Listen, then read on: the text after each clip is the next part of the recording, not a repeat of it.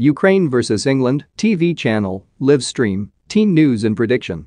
England continue their Euro 2020 journey on Saturday night when they face Ukraine in the quarter-finals. Andriy Shevchenko's side earned a place in the last eight with a dramatic extra-time win over Sweden in the round of 16. Alexander Zinchenko's opener was cancelled out by Emil Forsberg in normal time before substitute Artem Dovbyk headed home in the 120th minute to secure passage through. Gareth Southgate, on the other hand, oversaw a much simpler match against Germany in the last 16.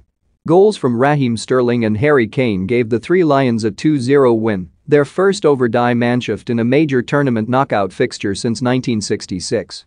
Now England face Ukraine in search of a second consecutive semi-final appearance at major tournaments.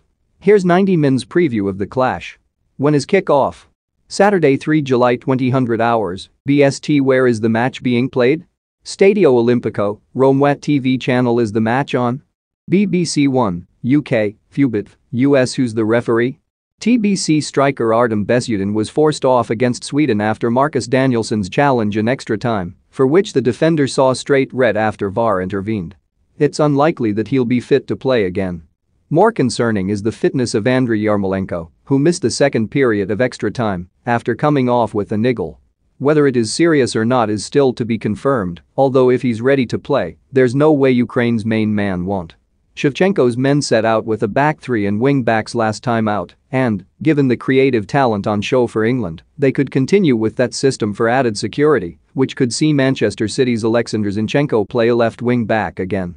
There doesn't appear to be any fresh concerns among the England camp and the fact that their round of 16 tie didn't go into an extra period should mean that the usual starters are raring to go for their quarter-final tie on Saturday.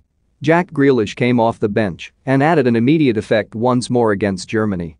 He was crucially involved in the first goal minutes after being introduced and assisted Kane with a perfect cross for the second.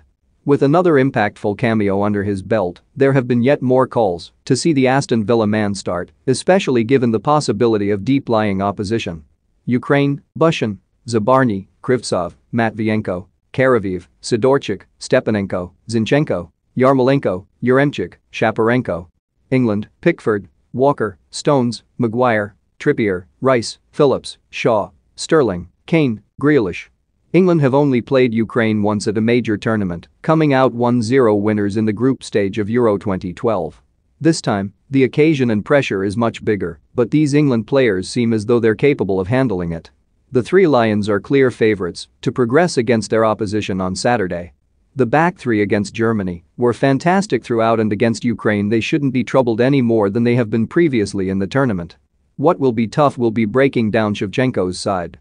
Ukraine are very disciplined and well organized, which could result in England's attacking talent feeling stifled. It may be a tough task,